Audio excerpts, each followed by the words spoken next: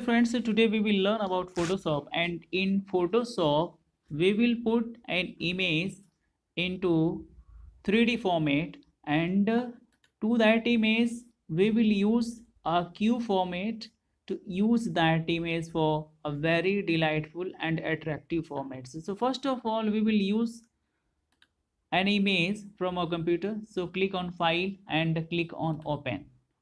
Now simply take your image the image you are going to change into 3d format.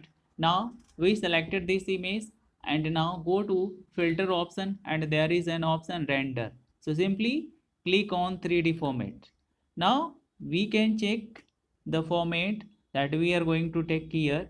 Now cube tool or by simply pressing m from your keyboard you can drag your mouse likewise.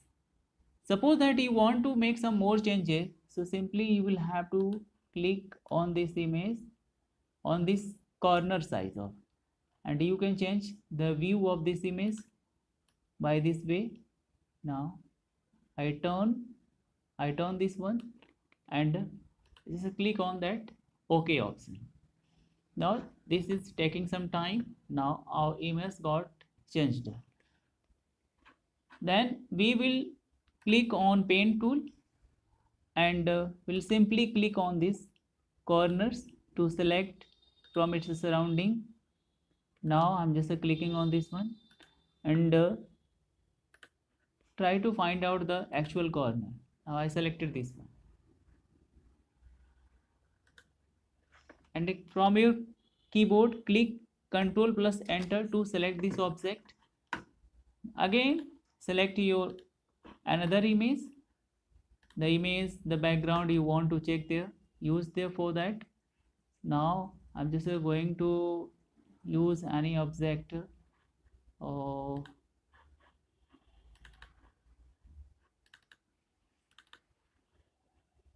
now there is this one. This is a natural site. So definitely it is not taking there.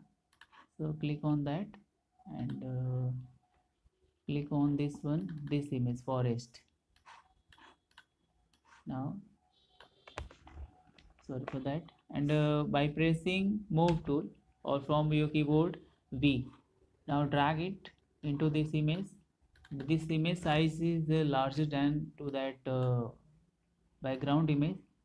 So you can transform the image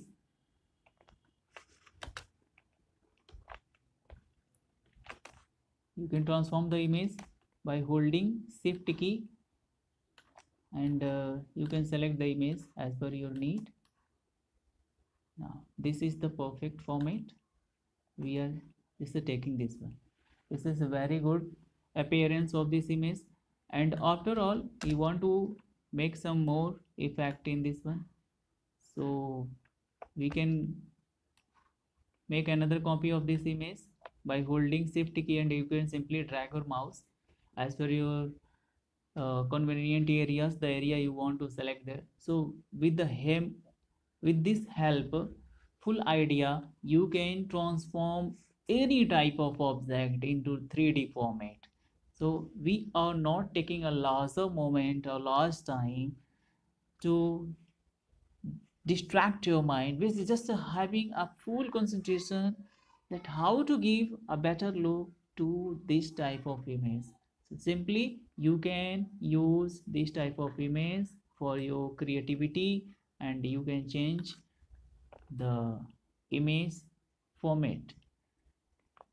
For more updates stay with us and keep on watching my channel. Thank you